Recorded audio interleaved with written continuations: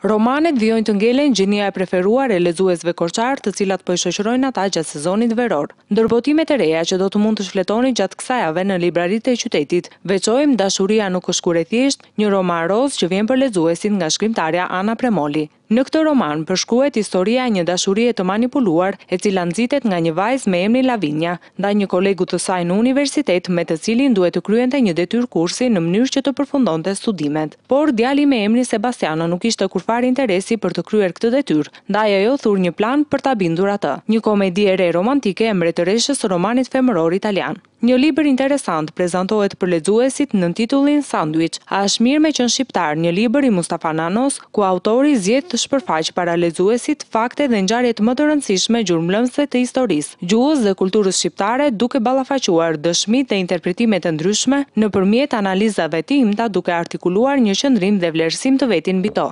Instituti i Studimeve Historike Lumo Skëndo hedh në treg botimin me vepra të zgjedhura të Mithat Frashërit, ku përfshihen Lëvizja për Lirinë dhe Pavarësinë e Kosovës, Zhvillimi i Ngjarjeve në Ballkan, Lëvizjen Demokratike e të tjerë.